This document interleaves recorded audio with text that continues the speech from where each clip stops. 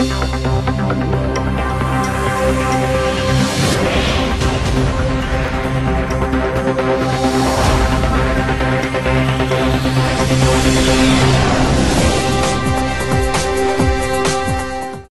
અબ તક સમાચારોમાં આપનું સ્વાગત છે. વિગતવાર સમાચાર જોતા પહેલા જોઈએ આજના મુખ્ય સમાચાર. ફક્ત દોઢ જ વર્ષમાં ભાજપ દેશના પૂર્ણ ભાગમાંથી ત્રીજા ભાગની રાજસત્તામાં સમેટાઈ ગઈ એનબીએફસીએ ધિરાણ કરેલ અધૂરા હાઉસિંગ પ્રોજેક્ટો ખરીદવા સરકાર સ્કીમ લાવી રહી છે. હવે જોઈએ સમાચાર વિગતવાર. વર્ષ બે હજાર ચૌદમાં યોજાયેલ લોકસભાની ચૂંટણીમાં ભાજપ વડાપ્રધાનના ઉમેદવાર નરેન્દ્રભાઈ મોદીનો જાદુ દેશભરમાં જોવા મળ્યો હતો. જેથી ભાજપે લોકસભાની પાંચસો તેતાલીસમાંથી બસો બ્યાસી બેઠકો મેળવીને નરેન્દ્રભાઈ મોદીની આગેવાનીમાં સરકાર રચી હતી. જે બાદ દેશના તમામ રાજ્યોમાં ભાજપની સત્તામાં અભૂતપૂર્વ વધારો થવા પામ્યો હતો, જે માર્ચ બે હજાર અઢારમાં સૌથી ઉપરની ટોચ પર રહેવા પામ્યો હતો. આ સમયે દેશના છોતેર ટકા વિસ્તારમાં ભાજપની સીધી કે આડકતરી રીતે સત્તા હતી. આ સત્તાના વિસ્તાર દેશની વસ્તીના ઓગણસિત્તેર ટકા સુધી ફેલાયો હતો. જે બાદ બે હજાર ઓગણીસમાં યોજાયેલ લોકસભા ચૂંટણીમાં પણ દેશભરમાં વડાપ્રધાન મોદીની લોકપ્રિયતાની સુનામી જોવા મળી હતી, જેથી ભાજપે પાંચસો તેતાલીસમાંથી ત્રણસો ત્રણ બેઠકો મેળવી હતી. હાઉસિંગ સેક્ટરને વિકસાવવા સરકારે વધુ એક પ્રયત્ન કર્યો છે. જેના અનુસંધાને એનબીએફસી દ્વારા ધિરાણ કરવામાં આવેલ પ્રોજેક્ટો ખરીદવા માટે સરકાર એક અલગ સ્કીમ લાવી રહી છે.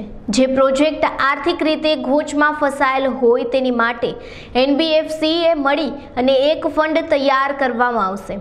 આ ફંડના માધ્યમથી પ્રોજેક્ટોને સ્વોસ ફૂંકાશે, જેનાથી એનપીએ ઘટશે અને રિયલ એસ્ટેટ સેક્ટરની તકલીફો દૂર થશે. મહારાષ્ટ્રમાં ભારે રાજકીય ધમાસાણ બાદ શિવસેના પ્રમુખ ઉદ્ધવ ઠાકરેએ મુખ્યમંત્રી પદના શપથ ગ્રહણ કર્યા હતા. ત્યારે કચ્છમાં શિવસેના દ્વારા ફટાકડા ફોડી અને આતશબાજી સાથે એકમેકને મીઠાઈ ખવડાવી ઉજવણી કરવામાં આવી હતી. આ પ્રસંગે કચ્છ જિલ્લા પ્રમુખ માધુભા સોઢા, જિલ્લા ઉપપ્રમુખ ઈશ્વરભાઈ ભાનુશાલી અંજાર, તાલુકા પ્રમુખ ધવલ ભટ્ટ, સંગઠન પ્રમુખ કુલદીપ જોશી સહિત તમામ હોદ્દેદારો અને શિવસૈનિકો હાજર રહ્યા હતા. ભુજના બી ડિવિઝનના હેડ કોન્સ્ટેબલની બાતમીને આધારે પોલીસ દ્વારા કાર્યવાહી કરવામાં આવી હતી, જેમાં ભાનુશાલી નગરમાં દોઢ માસ અગાઉ થયેલી સાડા આઠ લાખની લૂંટના બનાવમાં પોલીસે ત્રણ આરોપીની ધરપકડ કરી ગુનાનો ભેદ ઉકેલ્યો છે. બાઇક સવાર ત્રિપુટીએ ચાલતી બાઇકે રેવાશંકરભાઈના હાથમાં રહેલ થેલો આંચકી લઈ લૂંટ ચલાવી હતી, જેની પોલીસ દ્વારા અટકાયત કરવામાં આવી છે. ગઈ તારીખ અઢાર દસ બે હજાર ઓગણીસના રોજ રાત્રિના આશરે દસેક વાગ્યાના સુમારે કારિયા બ્રધર્સના માલિક નીતિનભાઈ હેમરાજભાઈ કારિયા પોતાની દુકાનેથી વકરાના પૈસા આઠ લાખ પચાસ હજાર રૂપિયા પોતાની એક્ટિવા લઈને જતા હતા. તે દરમિયાન ત્રણ અજાણ્યા ઈસમોએ મોઢે બુકાણી બાંધી અને આવી અને એમને ધક્કો મારી અને તેમની પાસેના આઠ લાખ પચાસ હજારની લૂંટ કરી નાસી ગયેલ. આ બાબતે જે તે સમયે ભુજ શહેર બી ડિવિઝન પોલીસ સ્ટેશનમાં ફર્સ્ટ ગુના રજિસ્ટર નંબર એકસો અઠ્યાસી ઓબ્લિક ઓગણીસ લૂંટનો ગુનો રજિસ્ટર કરવામાં આવેલો. શરૂઆતના તબક્કે ગુનાની ગંભીરતા સમજી અને ગુનો ડિટેક્ટ કરવામાં પ્રયત્ન કરવામાં આવેલો, પરંતુ સફળતા મળી નહીં. ગુનાની ગંભીરતા સમજી રેન્જ આઈજીપી શ્રી ત્રિવેદી સાહેબ તથા પોલીસ અધિક્ષક સૌરભ તાલ- તોલંબિયા સાહેબની સૂચના મુજબ આ ગુનો ડિટેક્ટ કરવા માટે એક સ્પેશિયલ ઇન્વેસ્ટિગેશન ટીમની રચના કરવામાં આવેલી, જેમાં અમારા સુપરવિઝન હેઠળ આ ગુનાના આઈઓ ભુજ શહેર બી ડિવિઝન પોલીસ સ્ટેશનના ભરવાડ સાહેબ એલસીબી પીએસઆઈ રાણા સાહેબ તથા એલસીબીની ટીમ ભુજ શહેર બી ડિવિઝનની ટીમ તમામે આ ગુનો ડિટેક્ટ કરવા માટે પ્રયત્ન કરેલો. આ ગુનો ડિટેક્ટ કરવા માટે તાજેતરમાં રાજ્ય સરકાર શ્રી તરફથી જે મિલકત સંબંધી ગુનાઓ ડિટેક્ટ કરવા માટે મોટા શહેરની અંદર, મોટા ટાઉનની અંદર જે સીસીટીવી કેમેરા લગાડવામાં આવેલા છે, જે વિશ્વાસ પ્રોજેક્ટ છે તે અંતર્ગત ભુજ શહેરમાં જેટલા પણ સીસીટીવી કેમેરા લગાડવામાં આવેલા છે, તે સીસીટીવી કેમેરાનો ડેટા કલેક્ટ કરેલો હતો. ગુનાવાળી જગ્યાએ ગુના પહેલાં આરોપીઓ રેકી કરેલી હોય તેવી સંભાવના હોય, તેમજ ગુનો કર્યા પછી આરોપી જે રૂટ ઉપરથી નાસી ગયેલા હોય, તે તમામ રૂટના સીસીટીવી કેમેરા આ ટીમો દ્વારા મિનિટ ટુ મિનિટ એનો જોવામાં આવેલા. તેમજ ઇલેક્ટ્રોનિક સર્વેલન્સનો પણ ઉપયોગ કરેલો. તેમજ આવા પ્રકારના ગુનાઓમાં છેલ્લા બે વર્ષમાં જેટલા પણ આરોપી પકડેલા હતા, તેને પણ અમે ચેક કરેલી આ તમામ તપાસના અંતે અલગ અલગ ટીમો બનાવી અને તમામ મુદ્દાઓ બાબતે તપાસ કરેલ, જેમાં તમામ ઇનપુટ ભેગા કરી અને હ્યુમન રિસોર્સિસનો પણ ઉપયોગ કરેલો કે આવા પ્રકારની મોડેસ ઓપરેન્ટીથી કયા પ્રકારના ગુનાઓ કરી શકે. જે અનુસંધાને ભુજ શહેર બી ડિવિઝન પોલીસ સ્ટેશનમાં ફરજ બજાવતા હરીશચંદ્રસિંહ બળવંતસિંહ જાડેજાને હકીકત મળેલ કે આ જે પ્રમાણે હાલ સુધીનું ઇન્વેસ્ટિગેશન છે ને હાલ સુધી જે પણ હકીકત મળેલી છે, તે અનુસંધાને આ ગુનામાં ત્રણ આરોપી સંડોવાયેલા હોવાની હકીકત જણાવેલ અને તેમની બાતમી આધારે આ એસઆઈટીના સભ્યોએ આ ગુનામાં સંડોવાયેલ ત્રણ ઇસમોને ભુજ શહેર બી ડિવિઝન પોલીસ સ્ટેશન લાવી અને પૂછપરછ કરતા તેઓએ આ ગુનાનો એકરાર કરેલ. ત્યારબાદ આ ત્રણેય ઇસમોએ આ ગુનાને કેવી રીતે અંજામ આપેલો છે, કેવી રીતે રેકી કરેલી છે કઈ કઈ જગ્યાએ લૂંટને અંજામ આપેલો છે, ગુના કર્યા પછી ક્યાં ગયા છે તે બાબતે પંચોરૂપનું એનું ડેમોન્સ્ટ્રેશન પંચનામું કરવામાં આવેલું અને તમામ જે ફરિયાદને જે લગતી હકીકત છે આરોપીએ જે રીતે ગુનાનો અંજામ આપેલો છે, તે મુજબનું જ પંચોરૂબરૂ પંચનામું કરવામાં આવેલું છે અને ગુનાનો ઇકરાર કરતો હોય, આ ગુનામાં સંડોવાયેલા ઇરફાન ઉર્ફે સમીર, હુસેન જત, રહેવાસી શાંતિનગર, હનીફ ઉર્ફે હકલો, સાધક સમા, રહેવાસી શાંતિનગર તથા જયંતિભાઈ વરજાંગભાઈ દાફડા આ ત્રણેય વિષયોને આ ગુનાના કામે એરેસ્ટ કરવામાં આવેલા છે. આ ત્રણેય આરોપીએ ગુના કામે વાપરેલ હથિયાર, ગુનાઓ કરતી વખતે વાપરેલ કપડાં, પહેરેલ કપડાં તેમજ ગુનાનો જે મુદ્દામાલ છે એ તમામ મુદ્દામાલ રિકવર કરવા માટે નામદાર કોર્ટમાં રજૂ કરવામાં આવનાર છે. આ આરોપીઓએ ગુનો કરતી કરતા પહેલાં મોટરસાઇકલની ચોરી કરેલી અને ચોરી કરેલ મોટરસાઇકલ એઓએ નાખી દીધેલ છે. આ તમામ વસ્તુની તલસ્પર્શી તપાસ કરવા માટે તમામ આરોપીઓને આવતીકાલે નામદાર કોર્ટમાં રજૂ કરવામાં આવનાર છે. સાહેબ પ્રાથમિક પૂછપરછ પછી એવું લાગે છે કે અગાઉ પણ કોઈ ગુનામાં અથવા અન્ય કોઈ આજ મોડસ ઓપરેન્ડીથી એ લોકોએ ગુનાને અંજામ આપ્યો હોય? અથવા કયા મોડસ ઓપરેન્ડીનો ઉપયોગ કરતા હતા? હાલ સુધી આરોપીની પૂછપરછ દરમિયાન તેઓએ આ જ ગુનો કરેલો હોવાની એકરાર કરેલો છે. પરંતુ ગુનો કરતા પહેલાં તેમના આગલા દિવસે આ રેકી કરેલી હોવાની પ્રાથમિક પૂછપરછમાં જણાવેલ છે. તેમ છતાં હાલ સુધી પોલીસના ઇન્ટ્રોગેશનમાં જે પણ તપાસને લગતી હકીકત છે, આ ગુનાને તપાસને લગતી હકીકત કરવામાં આવેલી છે. નામદાર કોર્ટમાં રજૂ કરી વધુને વધુ રિમાન્ડ માગી અને આ આ ત્રણેય વિષયોમાં અન્ય મિલકત સંબંધી ગુનાઓ ભુજ શહેરમાં અથવા તો પશ્ચિમ કચ્છ જિલ્લામાં આચરેલા છે કે કેમ તે બાબતે તલસ્પર્શી તપાસ હાથ ધરવામાં આવનાર છે. માંગરોળ તાલુકાના આત્રોલી ચેકપોસ્ટ પર હોમગાર્ડની દાદાગીરીનો વીડિયો સોશિયલ મીડિયા પર વાયરલ થયો છે, જેમાં એક હોમગાર્ડ દ્વારા રિક્ષા ચાલકને બીભસ્ત ગાળો આપી લાકડી દ્વારા માર મારવામાં આવી રહ્યો છે. હાલ રિક્ષા ચાલક માંગરોળ સરકારી હોસ્પિટલમાં એડમિટ છે, તેમજ પોલીસ ફરિયાદની તજવીજ હાથ ધરાઈ છે. ગારિયાધરમાં એમજે પટેલ હાઈસ્કૂલ પરવડીના એસપીસી યુનિટ દ્વારા ગારિયાધર પોલીસ સ્ટેશનની મુલાકાત લેવામાં આવી હતી જેમાં સીપીઓ રાજેશભાઈ તથા પોલીસ સ્ટાફ દ્વારા અલગ અલગ કામગીરી તેમજ હથિયાર અંગેની માહિતી આપવામાં આવી હતી. અને પીએસઆઈ તેમજ અન્ય સ્ટાફે વિદ્યાર્થીઓને શ્રેષ્ઠ નાગરિક બનવા અંગે સૂચના આપી હતી. સુરક્ષા સેતુ સોસાયટી આયોજિત એસપીસી યુનિટ પરોવડી દ્વારા આજે ગારિયાધર પોલીસ સ્ટેશનની મુલાકાતે બાવીસ ભાઈઓ અને બાવીસ બહેનોની ટીમ આવેલી અને પોલીસની કાર્યવાહીની સાથે સાથે અલગ અલગ પ્રકારના હથિયારોની ઓળખ વિદ્યાર્થીઓને આપવામાં આવે આવનારા દિવસોની અંદર સમાજ સાથે કેવી રીતે પોલીસ કાર્ય કરે છે એની પણ માહિતી જે છે વિદ્યાર્થીઓએ મેળવે.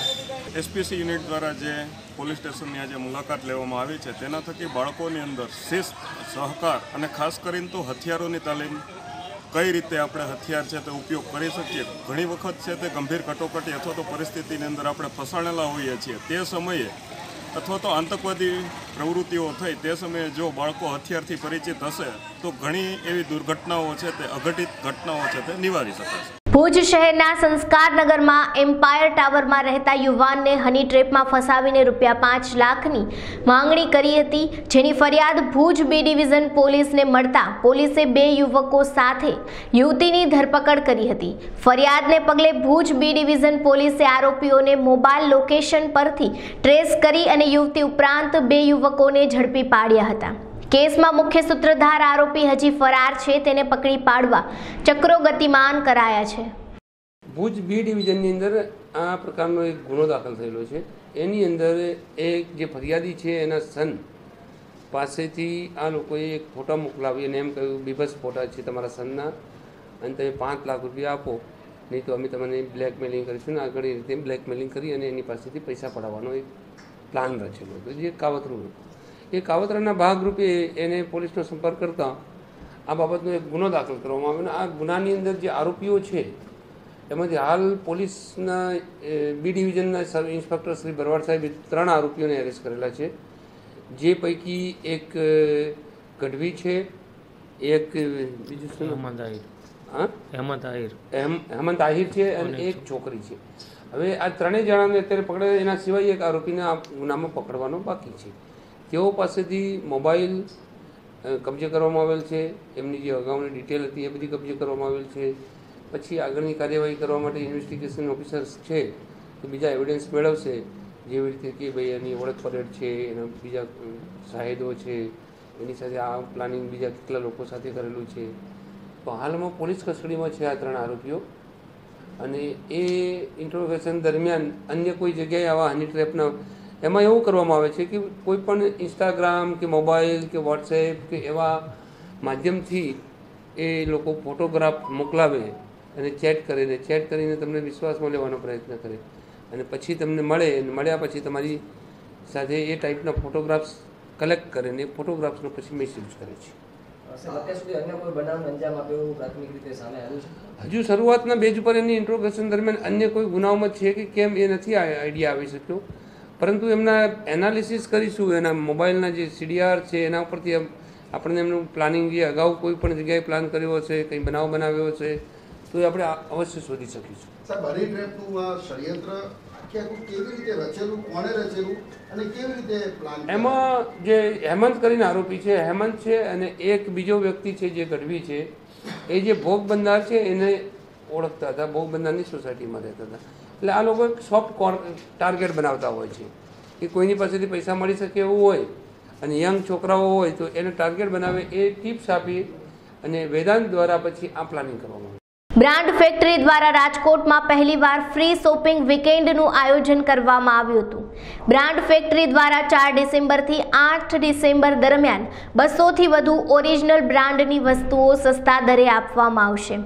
જે અંગે વધુ માહિતી આપવા બ્રાન્ડ ફેક્ટરી દ્વારા પત્રકાર પરિષદનું આયોજન કરાયું હતું बिल्कुल सर आप जैसे क्या है कुछ भी प्रोडक्ट उठाओगे तो उसका जो आर्टिकल्स है वो ऑनलाइन भी दिखाता है आप जैसे वो आर्टिकल्स डालोगे तो आपको पता चल जाएगा कि वो कौन सा कॉपी है बिल्कुल सर बिल्कुल सर इवन आप देखोगे गूगल्स में इवन फीडबैक्स देखोगे कस्टमर्स के तो बहुत पॉजिटिव फीडबैक्स है कि हमें बहुत कम रेंज में मतलब स्टोर ओपन होने से पहले से ही कस्टमर्स वेट कर रहे थे कि ब्रांड फैक्ट्री राजकोट में कब आने वाला है। और उनको काफ़ी अच्छा रिस्पॉन्स मिलता है हमें उस चीज़ का फीडबैक्स अच्छे मिलते हैं कि हमें एक अच्छे रेंज में मिल जाता है। अदरवाइज़ हम लोगों का एंड ऑफ़ सीज़न सेल का सिक्स मंथ में एक बार जो आता है, उसका वेट करना पड़ता है। नहीं नहीं, मैं बिल्कुल श्योर करा सकता हूँ सर इस चीज़ को लेकर, क्योंकि हम लोग उसके लिए बिल आपको देते हैं। रिटर्न बिल्स देते हैं इवन इंश्योरिटी देते हैं। आप उसको बारकोड से भी चेक कर सकते हो कि वो कितना जेन्यून प्रोडक्ट है। मिक्स आता है मिक्स आता है। करेक्ट सर बिल्कुल। हमारे पास तो डेटा वैसा ही होता है कि आप वो आर्टिकल से रीड कर सकते हो। इवन उससे चेक कर सकते हो कि वो कितना जेन्यून प्रोडक्ट है सर तो मैं आप लोगों को सर सजेस्ट करूँगा कि आप लोग सेकेंड को आइए सेकेंड एंड थर्ड को। तो क्राउड कम मिलेगा सेकेंड एंड थर्ड को आपको चॉइसेस ज़्यादा मिलेगी और आप इजीली आपका परचेसिंग कर सकते हैं सर क्योंकि एक्चुअली क्या होता है ना कि सर नॉर्मल डेज़ में रखते हैं ना तो काफ़ी कस्टमर्स के पहले फीडबैक्स आए कि हम लोग को पता थोड़ा लेट चलता है, फिर हम लोगों का ऑफ़िस का टाइम रहता है तो हम उस टाइम पे शॉपिंग करने नहीं आ पाते हैं। और क्या है, इसमें टाइम थोड़ा ज़्यादा स्पेंड होता है क्राउड ज़्यादा आता है तो टाइम ज़्यादा लगता है। तो उनको रहता है कि ऑफ़िस से हम लोग टाइम निकाल के इतना नहीं आ पाते। तो हम लोग प्रेफर यही करते हैं कि वीकेंड्स में ही हम लोग इसको मैप करें, ताकि कस्टमर्स मैक्सिमम कस्टमर्स का बेनिफिट उठा सके सर ये थोड़ा स्पेशल डिस्काउंट्स है। नॉर्मली फोर्टी फिफ्टी हम देते हैं। ये ऑलमोस्ट आपको नाइन्टी से ऊपर जा रहा है। हाँ एटी नाइन्टी परसेंट ऑफ़ ही है। क्योंकि तो जो आप पे कर रहे हो आपको मिल रहा है। यस सर मैक्सिमम जो भी डिस्प्ले रहेगा, उस पर सब पे रहेगा ये ऑफ़र शूज़ इवन लगेज सब पे रहेगा सर। जो इसमें पार्टिसिपेट नहीं करेंगे, उसको हम लोग पहले से ही रिमूव करके और उसी हिसाब से प्लान करके रखते हैं। वो कैसा होगा? ज्वेलरीज वगैरह होगा, जिसका प्राइस बहुत लो होगा 200-300 रुपए वाला तो उसमें हम लोग ये प्लान नहीं कर सकते तो उसको हम लोग पहले से ही रिमूव कर देंगे। सिर्फ़ वही रखेंगे जो कस्टमर्स के लिए ईजी रहे कि हम कुछ भी पिक करें और हमें उस पर वो डिस्काउंट मिले। तो वो ईजीनेस कर देते सर हम लोग।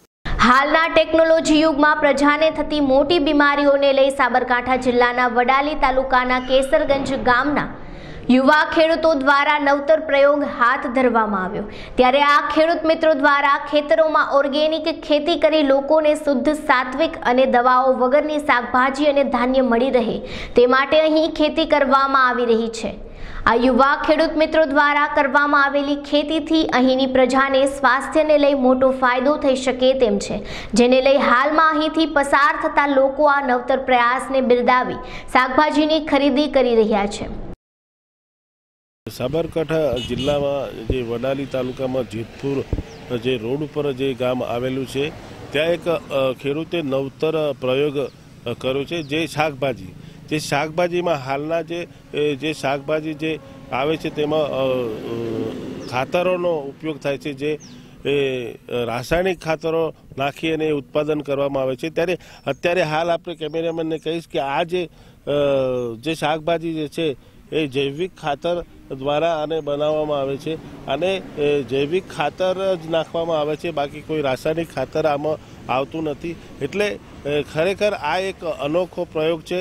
અને આ જે શાકભાજી જે થશે, એ શાકભાજી જે લોકો લઈ જશે, એમને કોઈ રોગ કે કોઈ સ્વાસ્થ્યનું કંઈ થતું નથી, ત્યારે જે હા, બજારમાં જે મળે છે શાકભાજી, એની અંદર મોટા પ્રમાણની અંદર જે રાસાયણિક દવાઓ વાપરવામાં આવે છે જાણે કે મોનોકોડ છે, એવી ઘણા, ઘણી પ્રકારની દવાનો છંટકાર કરી અને એ શાકભાજીને તૈયાર કરવામાં આવે છે. ત્યારે આ જે શાકભાજી જે છે એ, જૈવિક ખાતરથી અને એક અલૌકિક એક એમની જે શાકભાજી ઉત્પન્ન કરી રહ્યા છે, એ આ હાલના તબક્કે લોકો માટે, સ્વાસ્થ્યને માટે ખૂબ સુંદર છે.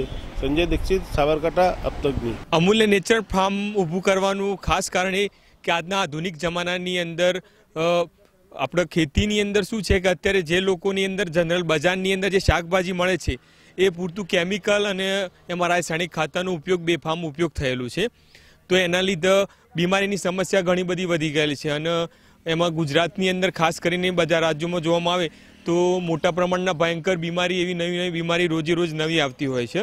તો મેં એક નાનકડો પ્રયાસ કર્યો છે કે એક સામાન્ય પરિવારની અંદર જો બે ટાઈમ એ પોતાના ખાવાનું ખાતો હોય એની અંદર એક સારું એવું પૌષ્ટિક જો આહાર જો ના ખાઈ શકતો હોય અને એક નેચરલ આની અંદર એમને મળી રહે અને એમનું સ્વાસ્થ્ય સારું રહે એ માટે અમારો એક પ્રયાસ ચાલુ છે આના માટે. અને અહીંયા અમે રિટેલની અંદર અહીંયા કોઈ પણ કસ્ટમર આવે અને રિટેલની અંદર પોતે ખરીદી કરી શકે અને લાઈવ પણ જોઈ શકે છે કે ખેતરની અંદર કોઈ પણ પ્રકારનું કેમિકલ પેસ્ટિસાઇડ અથવા કોઈ પણ પ્રકારનું રાસાયણિક ઉપયોગ કરેલો નથી. આના લીધે પોતાનું જે શરીર, એ લોબા ટાઈમ સુધી પોતાની તંદુરસ્તી જાળવી રાખી. હા એજ સર હું ગ્રાહક તરીકે આજે હું ખરીદવા આવ્યો, પણ સર બજારના ભાવ કરતાં પાંચ સાત દસ રૂપિયાનું ડિફરન્સ છે, સર. પણ ખરેખર આપણને જે જુએ છે એવું જીતુભાઈને આ લાગે, ખરેખર સાહેબ નવો કોન્સેપ્ટથી દરેક વસ્તુ આપણને અહીંયા પ્રોવાઈડ કરે છે અને આપે છે સર જીતુભાઈનો સાહેબ, બહુ મોટો એક કોન્સેપ્ટ છે કે ખરેખર એકદમ રોડ ઉપર હાઈવે ઉપર દરેક આવતા જતા દરેક વ્યક્તિને આ વસ્તુ સાહેબ પાંચ દસના ડિફરન્ટમાં પણ સારી વસ્તુ અહીંયા મળી રહેશે. આજે સાહેબ બજારમાં જઈએ છીએ તો સર આપણે દવા ખાતર વસ્તુ લઈએ છીએ અને એ વસ્તુમાં આપણે ઘણી વખત એવું થાય છે કે ભાઈ વસ્તુ તો ખરીદી પણ સાહેબ, આપણે ઇનડાયરેક્ટલી આપણે હેલ્થ સાથે ચેડા થતા હોય છે. જ્યારે આજે આપણે ઓર્ગેનિક વસ્તુ અને સર દવા ખાતાની વસ્તુ જે મળે છે, એમાં સાહેબ આપણા હેલ્થને પણ ફાયદો છે. બીજા નંબર સાહેબ પાંચ દસ રૂપિયાના ડિફરન્ટમાં પણ આપણે સાહેબ જેવી જોઈતી વસ્તુ આપણે પ્રાપ્ત થાય છે. ખરેખર ખૂબ આનંદ થયો. અને સર, આ એક સારો પ્રોજેક્ટ જીતુભાઈ લાવ્યા છે, ગોવિંદભાઈ લાવ્યા છે. અને સર, આ ખરેખર અમૂલ્ય નેચરલ ફાર્મ સાહેબ દિવસ દિવસ પ્રગતિ કરશે એવી હું આશા રાખું છું. અને દરેક મિત્રોમાં હું કહું છું કે સાહેબ, ખરીદો અને દરેક પોતાના હેલ્થને સાચવો. આ ખરેખર સાહેબ એક પણ મોટા મોટી દેશની સેવા થઈ રહી છે. રાજકોટ સિટી વુમન્સ ક્લબ બે વર્ષ પૂરા કરી અને ત્રીજા વર્ષમાં મંગલ પ્રવેશ કર્યો છે ત્યારે નવા મેમ્બર માટે પ્રવેશ પ્રક્રિયા તથા ચાલુ વર્ષનો છેલ્લો કાર્યક્રમ નાટક રાખવામાં આવ્યો છે. જે અંગે વધુ માહિતી આપવા પ્રફુલાબેન મહેતા તથા ટીમે અબતક મીડિયા હાઉસની મુલાકાત લીધી હતી. Hello how are you friends I am Darshana Mehta અમારું રાજકોટ સિટી વુમન્સ ક્લબ કરીને લેડીઝનું ક્લબ ચાલે છે. એમના અમારા પ્રેસિડન્ટ છે પ્રફુલાબેન મહેતા અને અમારી કમિટી. અમે બધા સાથે મળીને વરસના અમે બાર પ્રોગ્રામ આપીએ છીએ. તેમાં લેડીઝને લગતા અલગ અલગ કાર્યક્રમ રાખીએ છીએ. ફેશન શો રાખીએ છીએ, કુકિંગ શો રાખીએ છીએ. એવી રીતના અલગ અલગ કાર્યક્રમ હોય છે. મ્યુઝિકલ ઇવેન્ટ હોય છે અમારી, નાટક હોય છે. એ રીતના કાર્યક્રમ હોય છે. હવે અમારું આ વર્ષનું આ લાસ્ટ પ્રોગ્રામ ડિસેમ્બરમાં આવશે. ત્યાર પછી અમારી ન્યૂ મેમ્બરશીપ ચાલુ થાય છે, જે અમે ત્રીજા વર્ષમાં સફળતાપૂર્વક બે વર્ષ અમે પૂર્ણ કર્યા છે અને ત્રીજા વર્ષમાં અમે ચાલુ કરીએ છીએ મેમ્બરશિપનું તો એ મેમ્બરશિપ અમારી ચાલુ થાય છે બે બારથી બાર બાર સુધીમાં. એમાં પણ એ ન્યૂ વર્ષમાં પણ બી અમે નવા નવા કાર્યક્રમ, નવા નવા પ્રોગ્રામો, બધું લેડીઝને લગતું, બધું એ જ રીતના પ્રોગ્રામ લેવાના છીએ કે વધુમાં વધુ લેડીઝો અમારામાં મેમ્બરશીપ લે અને બધાને મજા આવે એ રીતના કાર્યક્રમ જ અમે આપવાના છીએ. આ વર્ષનો અમારો લાસ્ટ કાર્યક્રમ છે નાટક, જે અમે સત્તર બારે રાખેલા છે. અને એ કાર્યક્રમમાં અમે એ રીતનું આયોજન કરેલું છે કે જે નવા મેમ્બર ફોર્મ ભરશે, એમને પણ અમે ફ્રી એન્ટ્રી એમાં એને બતાવશું અને એ એમને જોવાનો ચાન્સ મળશે કે જે જાન્યુઆરીથી અમારી ટર્મ ચાલુ થશે, પણ એમને અમે ડિસેમ્બરનો પ્રોગ્રામનો લાભ આપીએ છીએ. અને એ અમારું નાટકનું નામ છે સાસુજી આઈ લવ યુ જે બોમ્બેનું નાટક છે, ત્યાંના જ બધા કલાકારો છે. સમાચારમાં સમય થયો છે એક નાનકડા વિરામનો. વિરામ બાદ ફરી મળીશું. आइए मैडम जी। मुझे चाय देना। अरे मैडम जी को राजानी की चाय दो। हाँ लाया लीजिए मैडम जी। भैया मसाले अगरबत्ती और माचिस भी राजानी के ही लेके आना। लाया मैडम। हम्म।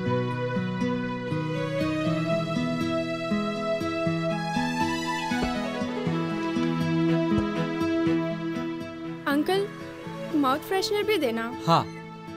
अरे बेटा वो भी राजानी का ही लेके आना। जी। ये लो। भैया डिटर्जेंट पाउडर और साबुन भी लाना प्लीज़।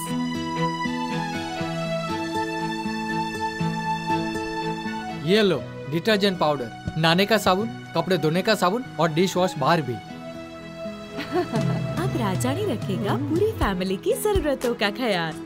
तभी तो कई सालों से हमारी जैसी फैमिली राजानी पर भरोसा करती है।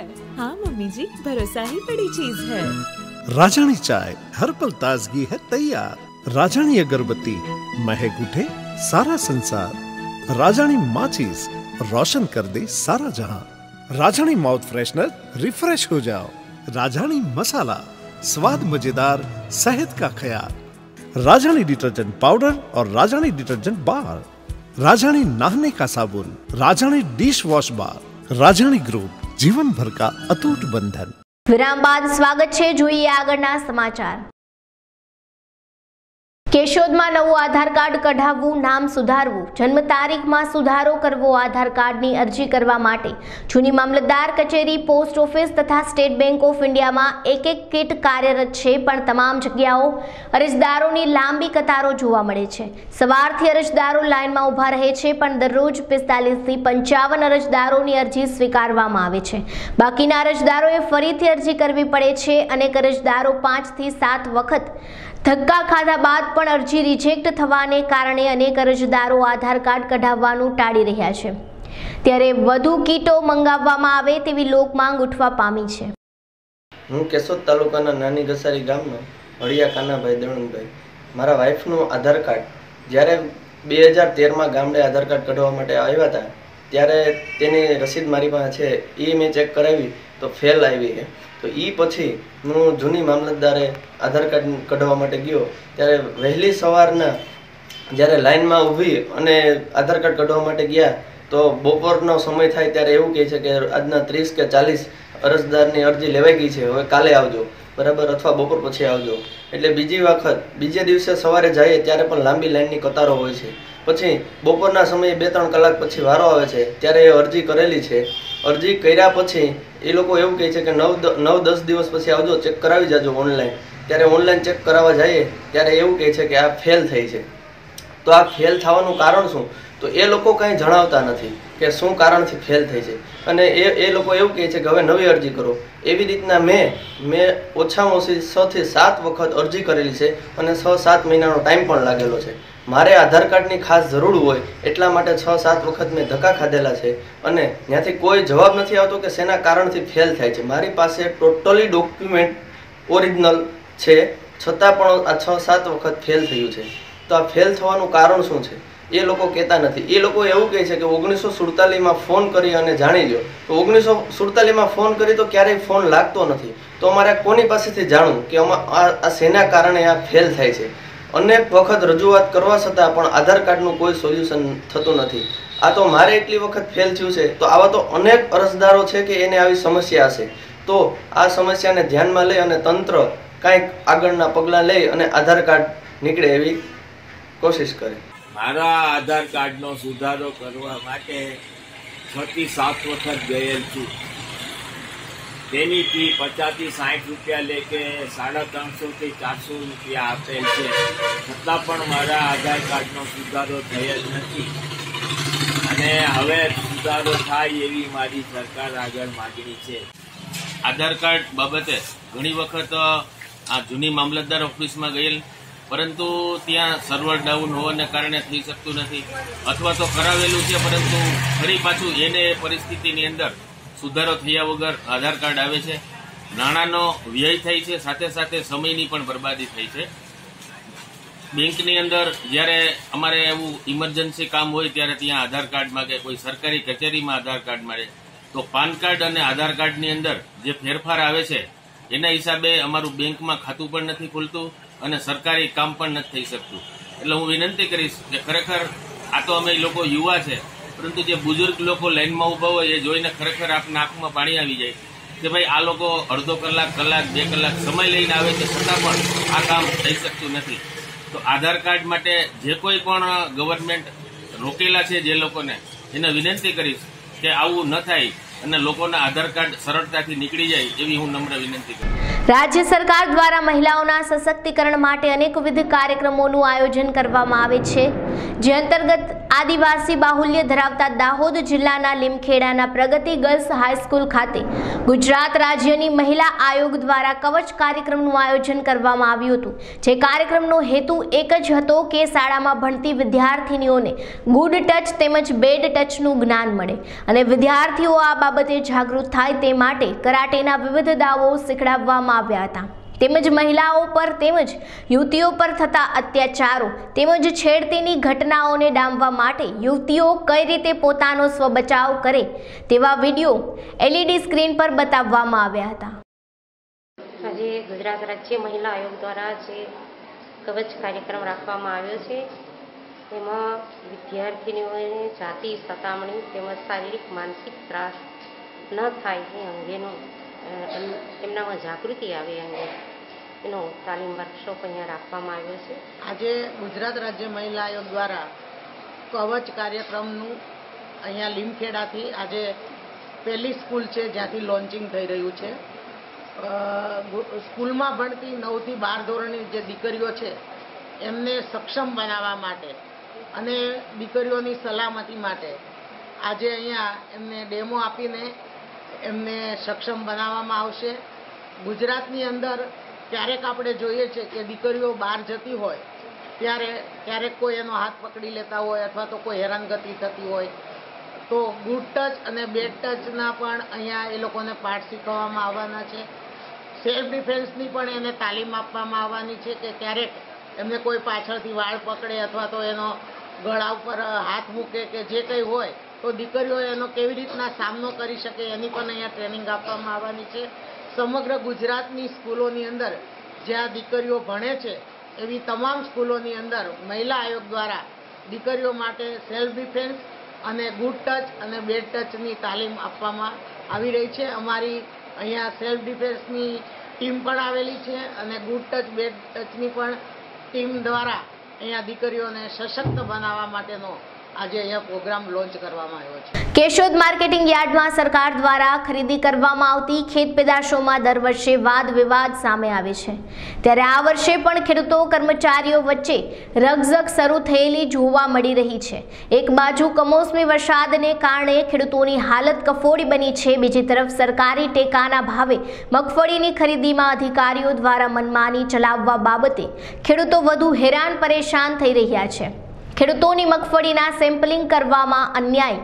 તેમજ ખાનગી મશીનમાં અને સરકારી મશીનમાં આશરે ત્રણ ગ્રામ જેટલો તફાવત બાબતે સરકાર દ્વારા યોગ્ય તટસ્થ તપાસ થાય તેવી ખેડૂતો માંગણી કરી રહ્યા છે. ગેસોદ માર્કેટિંગ યાર્ડમાં માંડવી લઈને અહીંયા મારી માંડવી સરકારી ખરીદીમાં લઈને આવેલો. જે માંડવી આ લોકો સેમ્પલિંગ કરતા, મારી માંડવીમાં આ લોકોના કહેવાથી પોણા નવ હવા હોવાથી લોકો બપોર પછી સેમ્પલિંગ કરવાનું કીધે.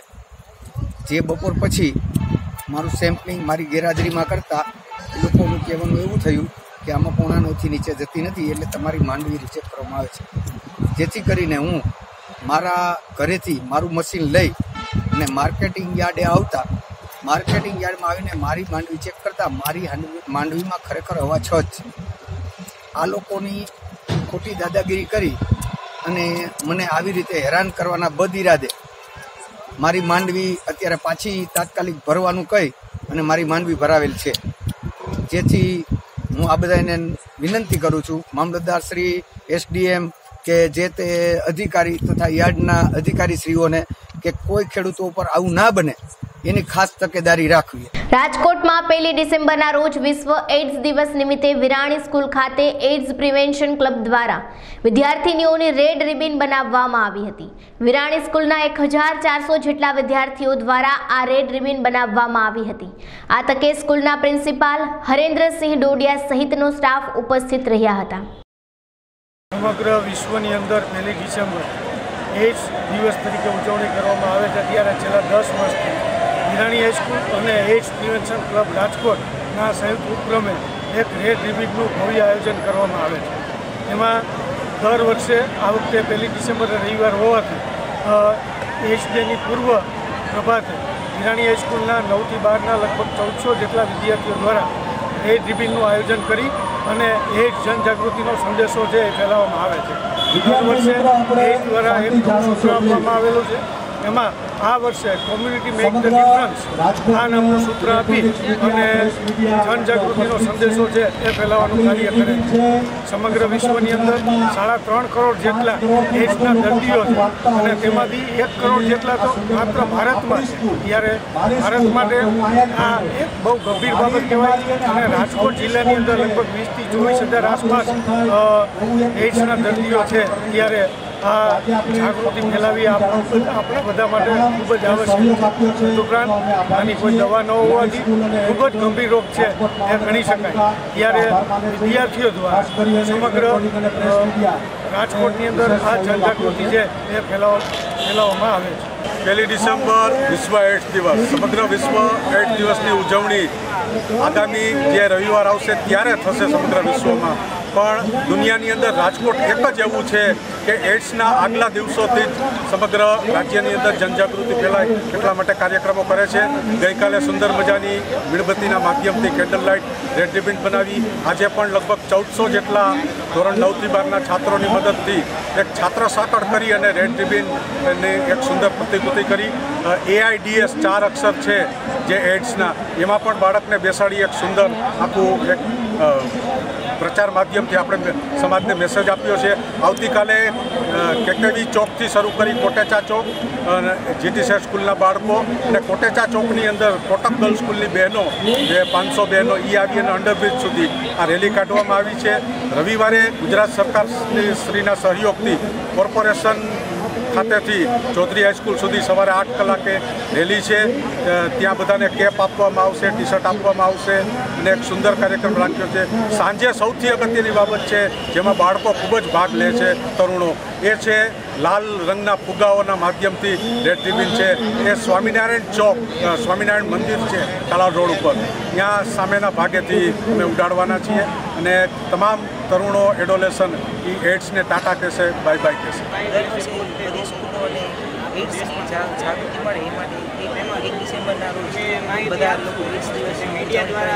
પરંતુ આજે અમારી સ્કૂલે કંઈક નવું અમારી સ્કૂલ દર વખતે કંઈક નવું કરવાની છે.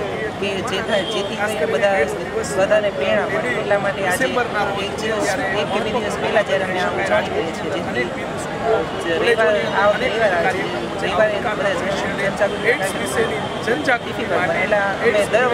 દર વર્ષે વિરાણી હાઈસ્કૂલનો આ રેકોર્ડ છે કે દર વખતે એઇડ્સ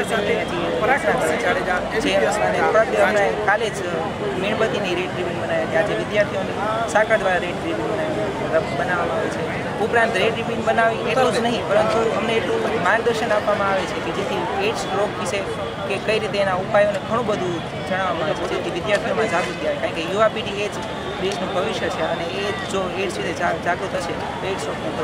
રાજકોટમાં શીતલ પાર્ક પાસે આવેલ બાપા સીતારામ ગૌશાળામાં એક સાથે ત્રીસથી પાંત્રીસ ગાયોના મોત નિપજ્યા હતા. ગાયોને પૂરતા પ્રમાણમાં ખાવાનું ન મળતા મોત નિપજ્યાનો આક્ષેપ કરવામાં આવી રહ્યો છે. જ્યારે ગૌશાળાના સ્થાનિકો દ્વારા, સંચાલકો દ્વારા ફૂડ પોઈઝનિંગના કારણે મોત થયાનું જણાવ્યું હતું. મહાનગરપાલિકાના અધિકારીઓએ ગાયોના મૃતદેહ પોસ્ટમોર્ટમ અર્થે ખસેડી મોતનું કારણ જાણવા તજવીજ હાથ ધરવામાં આવી છે. દસ વર્ષથી આ ગૌશાળા હાકાલી છે. દસ વર્ષની અંદર આવી બનાવ કે આવી પોઝિશન કોઈ દી બની નથી. આજે સવારે જે નીરની ગાડી આવી અને નાખ્યા પછી એને ખાધું, ખાઈને બે વાગે અમે ઢોર આમાં પૂર્યા વાડામાં. એટલે એને ખાધા બાદ એને જે પાણી પીધું, પાણી પી અને પછી ઢોલ લડથડિયા ખાવા માંડ્યા. એટલે મને શંકા જેવું લાગ્યું કે કદાચ મીણો ચડી ગયો એવું બને. તો મેં તરત ઝાકસણીયા સાહેબને કોર્પોરેશનમાં ફોન કર્યો. ફોન કરેલો એ તરત જ સાહેબ આવ્યા ત્રણ વાગે આવી ગયા. એટલે એને કીધું કે ભાઈ, આમાં ફ્રૂટ પોઈઝન છે. એટલે તમે કે ઇન્જેક્શન મારી મારીને ઢોર કે બાજુના વાળા પૂર દો. અને હવે તમે આ પાણી ન પીવા દેતા, એટલે આ પોઝિશન બને નહીં. તે પછી આ ઢોર કાંઈ જે મરી ગયા, એ મોજૂદમાં જ છે. અને કોર્પોરેશનના સાહેબો જિલ્લા પંચાયતના સાહેબો એ અત્યારે ત્રણ કે ચાર ઢોર લઈ અને અહીંથી પીએમ કરાવવા ગયા છે. કેટલા ઢોર મળી ગયા છે અંદાજે હવે આમાં છે આ લોકો આવ્યા પછી અમે કાંઈ ગણ્યા નથી. મેં ગણ્યા હતા અહીં અઢાર કે વીસ એમ હતા બરોબર? આ લોકો કે ચોત્રીસ ચોત્રીસ પચાસ પચાસ જે કે બરોબર એને ગણ્યા છે. કારણ કે આ લોકો આવ્યા લંબ બાર વાગ્યા હતા. કારણ શું ખાવાથી બન્યું? એ અમારા હરાજીમાંથી આવે. દાતાનું આવે કે તમે મોકલો કે નાખી દેજો એટલે અમે નાખી દઈએ બરોબર? એવી રીતે હરાજીમાંથી મારી ગાડી આવતી હોય સેવાની એટલે અમે નાખી દેવાની કોઈ હોય તો નામ દે કોઈ ન દે. આપણે પૂછીએ કે ભાઈ તમારે કોઈ જોઈશે તો ઘણા એમ કે જોઈશે ને ઘણા એમ કે નથી જોતી. રામ ભરોસ જવા દો તો અમે નાખી દે. ટ્રાફિકના નવા નિયમોનું પાલન કરવા માટે ડ્રાઇવિંગ લાયસન્સ મહત્વનું હોય. ત્યારે કેશોદ તાલુકાભરમાં વાહન ચાલકોએ લાયસન્સ કઢાવવા માટે જુનાગઢ આરટીઓ કચેરીએ જવું પડતું હોય છે. વાહન ચાલકો ભારે મુશ્કેલીનો સામનો કરી રહ્યા ત્યારે કેશોદની આઈટીઆઈ કચેરી ખાતે લર્નિંગ લાયસન્સનું કેન્દ્ર ફાળવવામાં આવતા લોકોને સારી સુવિધાઓ મળી રહે છે. આઈટીઆઈ ખાતે દરરોજ બપોરે સાડા ત્રણથી સાડા પાંચ વાગ્યા દરમિયાન દસ લર્નિંગ લાયસન્સ કાઢી આપવામાં આવે છે. પ્રિન્સિપાલ આઈટીઆઈ કેશોદ, વીજી મારું, સરકારશ્રીના આરટીઓ કેન્દ્રનું ભારણ ઓછું કરવા તેમજ પ્રજાજનોની સગવડતાને ધ્યાને લઈ સરકારશ્રીના સારા અભિગમે અત્રેની સંસ્થા આઈટીઆઈ કેશોદને લર્નિંગ લાયસન્સ તરીકે એક કેન્દ્ર ફાળવેલ છે. તો અત્રેની સંસ્થા ખાતે દરરોજ સાડા ત્રણથી સાડા પાંચ સુધી લર્નિંગ લાયસન્સ કાઢી આપવામાં આવે છે અને દરરોજના દસ દસ લર્નિંગ લાયસન્સ કાઢવામાં આવે છે. અને આ રીતે પ્રજાજનોને સગવડતાથી કામ ચાલે છે. માળિયાહાટીના અમરાપુર ગામે જુનાગઢ જિલ્લા પંચાયત આરોગ્ય વિભાગના આદેશ મુજબ આંગણવાડીના બાળકોને શાળા આરોગ્ય કાર્યક્રમ યોજાયો હતો, જેમાં હેલ્થ ઓફિસર ડોક્ટર ચુડાસમા સાહેબના માર્ગદર્શન મુજબ બાલ કલ્યાણ કાર્ડ વિતરણ કરવામાં આવ્યા હતા. અને બાળકોનો પોષણ તેમજ પોષણના અભાવે થતી ખામીઓ વગેરેની વિસ્તૃત સમજણ આપવામાં આવી હતી. Doctor Swati Kapadia, RBSK medical officer દ્વારા આપવામાં આવી આ કલ્યાણ કાર્ડ, મમતા કાર્ડની જેમ જ સાચવવા માટે પણ સમજ આપવામાં આવી હતી. આંગણવાડી કેન્દ્ર નંબર ત્રણ, કોડ નંબર સડસઠ અમરાપુર ખાતે ફરજ બજાવું છું. આજ રોજ સરકારશ્રીના કાર્યક્રમ મુજબ અત્રેની આંગણવાડી ખાતે સારા આરોગ્ય તપાસણી કાર્યક્રમ યોજવામાં આવ્યો.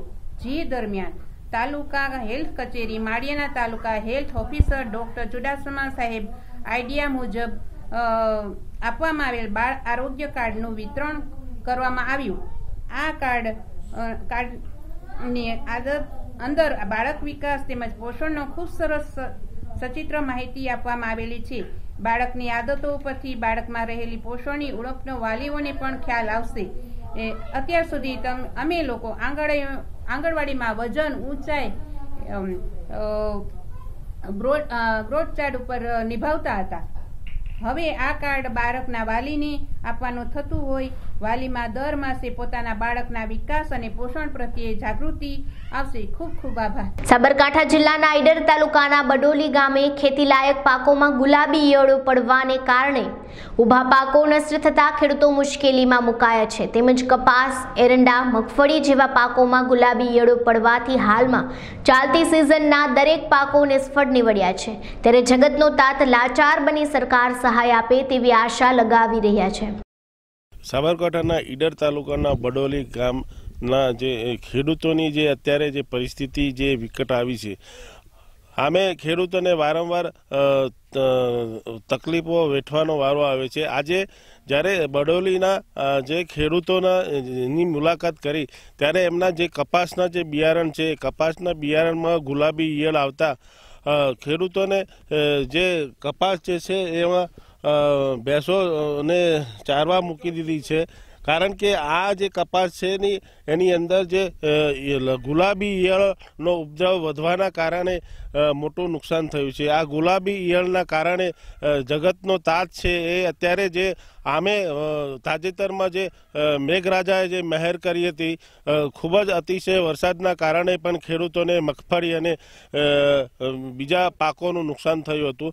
પરંતુ આજે જે વડોલીના ખેડૂતો જે છે, એમાં જે ગુલાબી ઈયળના કારણે એમને જે મોંઘા ભાવના બિયારણનું જે વાવેતર કર્યું હતું, એમની મજૂરી એમને માથે પડી છે. આમ જગતના તાતને પડ્યા પર પાટું જેવો વારો આવ્યો છે. સંજય દીક્ષિત, સાબરકાંઠા અબતક ન્યૂઝ. આ કપાસની અંદર ગુલાબ ઈયર પડવાથી કોઈ પેદા ના થાય એટલે ભેરવણ કરી દીધી છે હાલ તો.